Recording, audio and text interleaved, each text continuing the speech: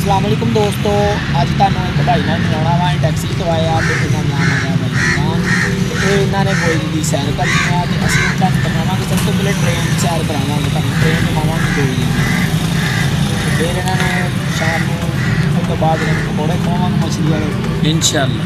ਤੇ ਅਟਾਰੀ ਫਰੂਟ ਚਾਟ ਇਹਨਾਂ ਨੇ ਖਾ ਚੁੱਕੇ ਨੇ ਤੇ ਮਨ ਦੀ ਬਰਫੀ ਇਹਨਾਂ ਨੇ ਲੈਣੀ ਹੈ ਤੇ ਹੋਰ ਵੀ ਇਹਨਾਂ ਨੂੰ ਸ਼ਾਪਿੰਗ ਮਾਲ ਦੀ ਸੈਰ ਕਰਾਉਣੀ ਹੈਗੀ ਆ ਤੇ ਤਾਂ ਕਿ ਇਹਨਾਂ ਨੂੰ ਪੂਰੇ ਗੋਇਦੇ ਦਾ ਪਤਾ ਲੱਗੇ ਕਿ ਗੋਇਦੇ ਵਿੱਚ ਕੀ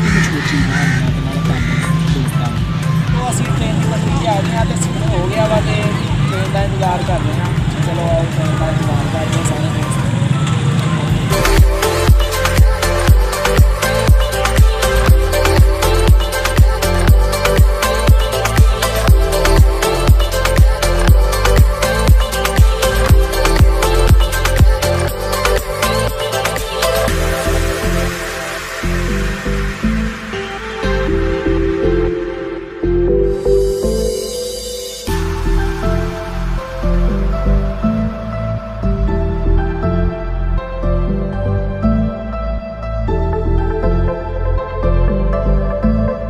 ਕਿੰਨਾ ਇੰਜੋਏ ਕਰਾਣਾ ਹੋਰ ਉਹ ਘਰ ਨੂੰ ਇੰਜੋਏ ਹੋ ਰਿਹਾ ਦੋਸਤੋ ਆ ਭਾਈ ਨੇ ਟ੍ਰੇਨ ਦੇਖੀ ਆ ਤੇ ਇਹਨਾਂ ਦੇ ਇਹਨਾਂ ਦੀ ਐਕਸਾਈਟਮੈਂਟ ਚੈੱਕ ਕਰਦੇ ਆ ਕਿ ਨਾ ਤੂੰ ਨਾ ਵਾ। ਰਹਿੰਦੇ ਮਜ਼ਾ ਬੜਾ ਆਇਆ। ਪਹਿਲੀ ਵਾਰੀ ਟ੍ਰੇਨ ਲਾ ਹਾਂ। ਕੇ ਦੇਖ ਕੇ ਤੁਹਾਨੂੰ ਕਿੱਦਾਂ ਦਾ ਫੀਲ ਹੋਇਆ।